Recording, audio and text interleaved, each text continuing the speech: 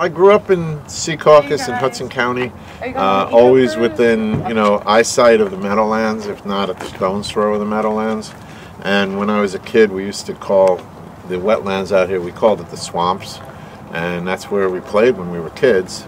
And you know, as I got older and as time marched on, I was noticing more and more of what we used to, you know, was our natural playground when we were kids was turning into development. Uh, warehouses, office buildings, residential communities, uh, lots of shopping, retail opportunities, and, re and restaurants and that kind of thing. Uh, all over all over the map in Secaucus here, and then I started looking around the other towns, and they were all had the same issues with people filling in the wetlands and building uh, inappropriately placed projects there. Uh, it was in the early 90s when I really started to, uh, you know, realized that somebody had to do something about it, and since the government was involved in the whole uh, scheme to to develop everything out here, I knew I couldn't count on them. So that's when I got involved with uh, an organization called Baykeeper, and Baykeeper basically was one of the original Waterkeeper programs. And it didn't take me long to realize that uh, the way the way it really works is somebody has to step up. So I stepped up. In 1997, I founded Hackensack Riverkeeper based on that, based on the Waterkeeper model, based on the model that was put forth by the Hudson Riverkeeper back in the early 80s.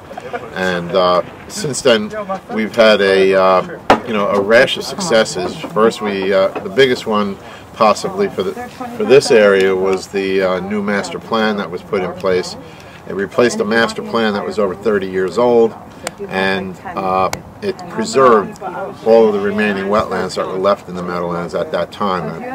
Uh, and to this day, we haven't had we haven't had any additional wetland losses except on a very very minuscule level, uh, and that was for things that needed to go by wetlands that were not uh, development, but more or less uh, storm drains and stuff like that. Tall ones, they kind of have like a shed on the top and there's a cylindrical part of it underneath.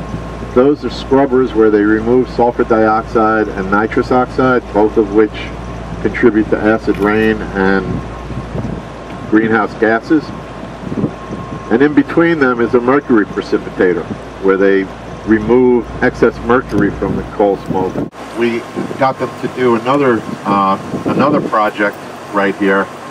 And behind that wall, where you see that little waterfall, you see that little waterfall with birds on the top of it right there? Well, in behind that wall are the cool are the cooling water intakes for the turbines. They got to, you know, because the turbines need to be cooled, otherwise they overheat and they stop working. So what they had there were open pipes that just sucked water right out of the river and anything swimming by got sucked into the machinery and got ground up and spit out the other end. What we got them to do when they, with the plant shutdown for this project, they were able to put traveling screens in front of the intakes. So now if a fish gets pulled in, it doesn't go into the pipe, it goes into onto the screen and the screen has a system of troughs that allow it to come out and that's why there's water running out of there now because if there were any fish being caught in the screens the fish would then be coming back into the river. And they're, getting about 75 to 78 percent uh, less mortality now than they had before they put the screens in. So we've been able to get them to do some pretty decent stuff here. You know raid ships out in the harbor and then wind up up here in the Meadowlands. And one of the, uh, at the time, the whole area was under British rule, so one of the soldiers actually found out how they were accessing the cedar swamps, and the general that was in charge uh, issued an order to burn them out. They actually burned a couple of thousand acres of cedar swamp in order to do away with the pirates. Uh, it did away with a lot of the cedar, but the pirates just moved to Trenton. we call them legislators nowadays.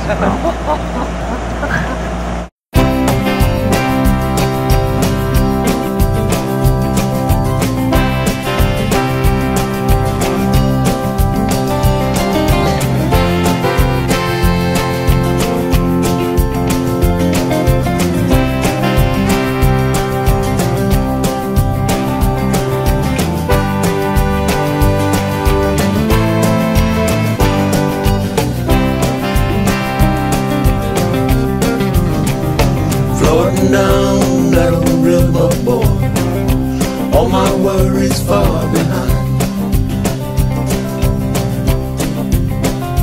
Floating down that old river boy. Leave old memories way behind. Yesterday slowly fade. All my life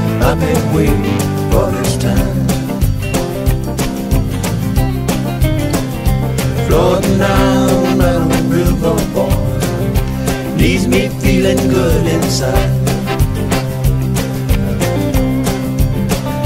Floating down that old river, boy, trying to get to the other side. Yesterday, slowly fade, I've been waiting